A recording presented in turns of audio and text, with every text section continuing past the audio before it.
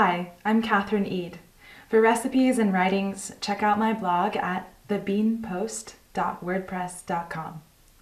Today I'm going to show you a recipe for an easy snack made with cashews and seaweed. To start off, we have our cashew pieces here. You can grind these at home in any food processor or grinder to make cashew butter, or you can use store-bought cashew butter.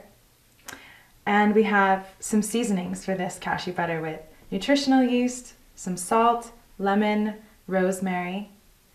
We have some seaweed here. I'm using sushi nori and some vinegar. Any kind of vinegar will work.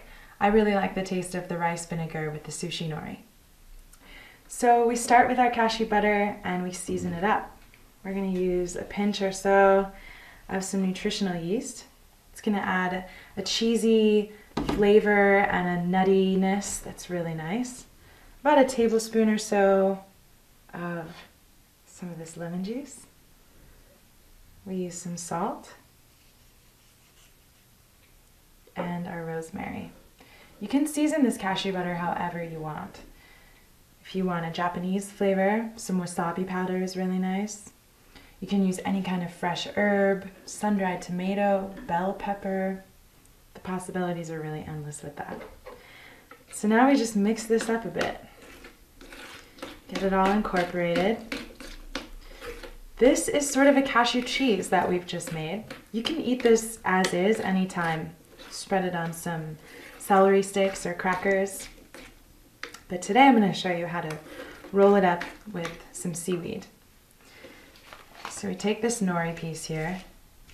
We're just going to spread a layer of our cashew butter right onto it.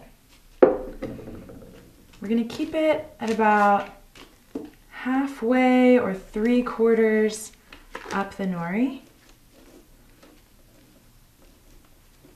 So you see what I mean here? We've Spread the cashew butter on most of the nori, but we're leaving some space right up here. All right. Now I'm gonna use my vinegar. Just dip my finger in there and spread that along the edge. It's gonna help this seal up when we roll it. So we start at the edge that has our cashew butter on it. And we just start rolling it into, oh, there we go. Might take a little practice. The nori can break. Just be gentle and very patient with it. And then let it sit all of its weight on where you've laid the vinegar and it'll give it a nice seal. If you have a dehydrator at home, this is a great time to put it in the dehydrator on a low setting for just a couple of hours.